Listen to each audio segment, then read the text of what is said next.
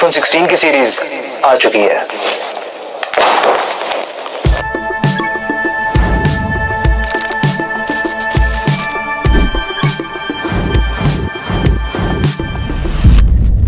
तो ओवरव्यू में आपकी स्क्रीन के सामने सारी स्पेसिफिकेशंस आ गई होंगी, जो कि हर दूसरा, तीसरा बंदा आपको बता रहा होगा। लेकिन मैं आपको कुछ पॉइंट टू पॉइंट और एक्स्ट्रा चीज़ें बताऊँगा। आईफोन 16 में पाँच कलर लॉन्च किए गए हैं, जिसमें से तीन कुछ बेबी कलर्स हैं, जैसे अल्ट्रा मरीन पिंक और टील का नाम दिया गया है और दो अच्छे कलर हैं वाइट और ब्लैक इसमें कैमराज में भी काफ़ी ज़्यादा अपग्रेडेशन की गई है। इसका एक और मॉडल भी लॉन्च किया गया है, जिसे आईफोन 16 प्लस कहा गया है। ज़ाहिर बात है, इसका साइज़ बड़ा है तो स्क्रीन साइज़ भी बड़ा होगा और बैटरी भी। और इन दोनों फ़ोन्स का जो बॉडी मटेरियल है, वो एल्यूमिनियम का। दूसरी तरफ़ प्रो मॉडल्स में चार कलर हैं, जिसमें से एक न्यू कलर इंट्रोड्यूस किया गया है, जिसका नाम डेजर्ट टाइटेनियम है। बाकी वही ब्लैक टाइटेनियम वाइट टाइटेनियम और नेचुरल टाइटेनियम जो कि आईफोन 15 में भी था। इसका एक दूसरा मॉडल है, उसे प्रो मैक्स का नाम दिया गया है, जिसका साइज़ बड़ा है और बैटरी बड़ी है, बाकी चीज़ें सेम ही हैं। और इनका बॉडी मटेरियल टाइटेनियम का बना हुआ है। और आईफोन 16 सीरीज़ के जो बेजल्स हैं, वो इस दफ़ा काफ़ी थिन रखे गए हैं। बेस मॉडल और प्रो मॉडल का आपस में अगर कंपैरिजन किया जाए तो हमें तीन चीज़ों का डिफरेंस मिलता है। उसमें सबसे पहली चीज़ आती है, वो है प्रोसेसर देन हमारे पास आते हैं कैमराज और थर्ड नंबर पर हमारे पास आती हैं बैटरीज इस तरह से जो प्रो मैक्स मॉडल है, उसकी इस दफ़ा प्राइस है, जो वो पहले के प्रो मैक्स मॉडल से कम की गई है। अरे भाई, बनता भी है, ठीक है। इतना लूटा है पहले आप लोगों ने। अब हम बात करेंगे इसके जो पाँच मेन चेंजेस हैं उनकी। सबसे पहले आता है ए आई यानी कि एप्पल इंटेलिजेंस एप्पल इंटेलिजेंस ने दफ़ा यार कमाल कर दिया। अगर आप उसे पूछेंगे कि सोशल मीडिया पे इस वक्त क्या ट्रेंडिंग में चल रहा है तो सीरी कहेगी दानिश भाई ज़िंदा रहते थे ना, किसी का नाम ही नहीं रहता था भाई।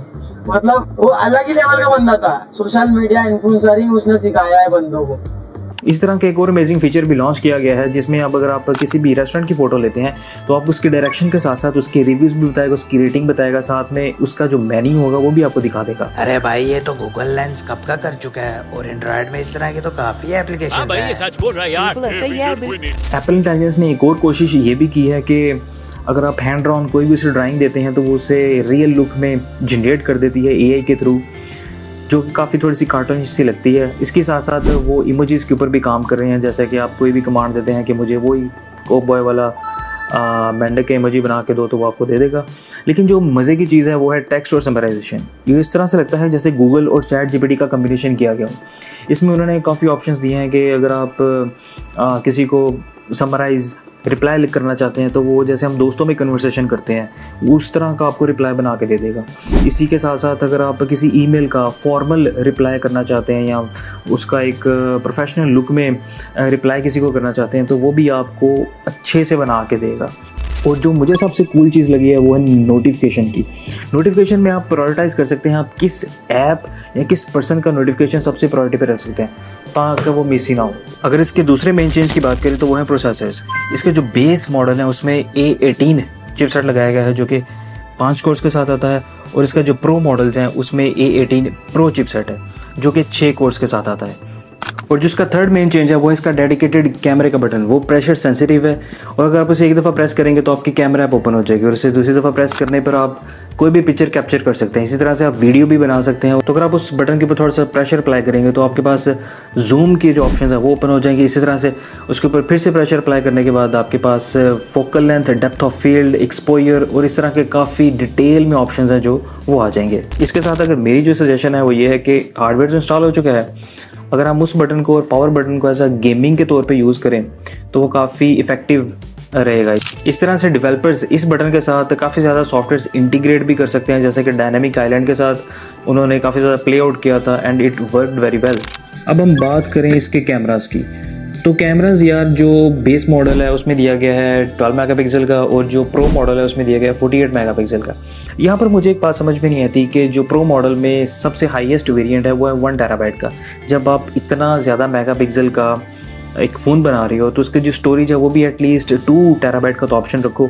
अब उसके साथ क्या हम लोग एक अलग से क्लाउड सब्सक्रिप्शन लें? ये सारा चक्कर है यार इसका। इसी के साथ प्रो मॉडल्स में आप मैक्रो लेंस से लेके 120 twenty M M five X telephoto camera lens use करते हुए वीडियोस और इमेजेस कैप्चर कर सकते हैं ज़्यादा डिटेल्ड और शार्प क्वालिटी के साथ। एक और हाईलाइटेड फीचर ये भी है कि अब आप 4K में स्लो मो 120 FPS के साथ भी रिकॉर्ड कर सकते हैं। ऑडियो क्वालिटी की बात करें तो वो भी काफ़ी ज़्यादा इंप्रूव हुई है। इस दफ़ा वो स्टूडियो क्वालिटी का ऑप्शन भी दे रहे हैं सिनेमेटिक का भी ऑप्शन दे रहे हैं। अगर आपके सामने कोई फ्रंट पर्सन है तो सिर्फ़ उनकी आवाज़ आएगी, ये भी ऑप्शन है। उसमें काफ़ी ज़्यादा वो पॉडकास्ट टाइप फीचर्स भी इंट्रोड्यूस किए उन्होंने। और जो सबसे एंड पे चीज़ है वो है बैटरीज़ बैटरीज़ का इस दफ़ा क्लेम किया जा रहा है कि जी, जो प्रो मॉडल है, वो आपको पाँच घंटे ज़्यादा बैटरी देगा और जो बेस मॉडल है वो आधे घंटे से एक घंटे की ज़्यादा बैटरी देगा। बस ये सारी कहानी है आईफोन 16 सीरीज़ की।